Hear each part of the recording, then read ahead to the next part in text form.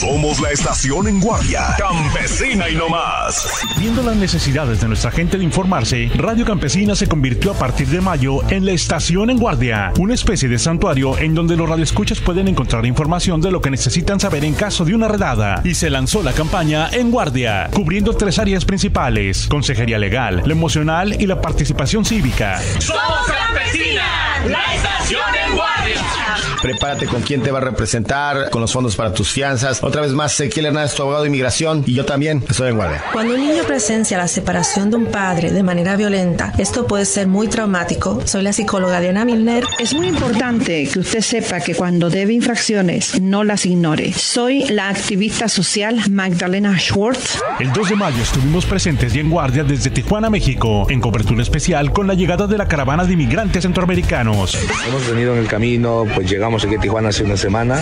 Tratemos con amor a todo inmigrante. No somos extraterrestres, sino que somos personas iguales. El 7 de mayo, el procurador Jeff Sessions anuncia la política de cero tolerancia y Radio Campesina inmediatamente reaccionó ante esto con cobertura completamente en vivo desde McAllen, Texas, en los centros de detención de menores. Me encuentro ya en vivo desde la ciudad de McAllen, Texas, en donde estamos reportando sobre esta situación alarmante de la separación de familias en la frontera. Al día siguiente y tras la presión de los medios, el presidente Trump firma una acción ejecutiva en donde da fin a la separación de familias. Cubriendo los últimos detalles de la gran victoria que acaba de suceder, presionado por la comunidad, Trump da marcha atrás y ordena detener la separación de familias en la frontera.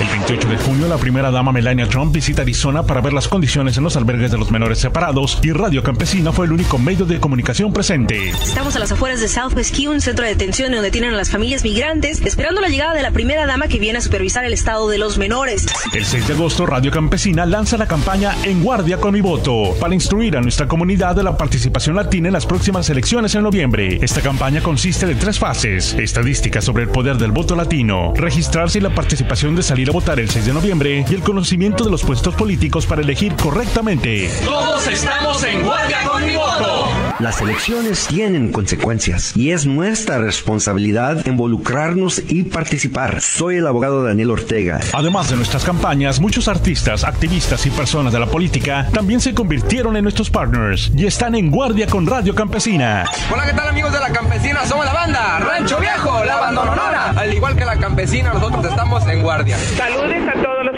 de la Campesina y yo también estoy en guardia. Tenemos que abandonar aquella idea que decía nuestro voto no cuenta porque somos latinos. En realidad, tras de cada uno de nosotros, ese voto es importantísimo. Soy Cristina Jiménez, fundadora de la red de United We Dream y yo también estoy en guardia. Sí se puede. Es por esto y mucho más que Radio Campesina es la estación en guardia. Empoderando a nuestra comunidad. Somos la estación en guardia. Campesina y no más.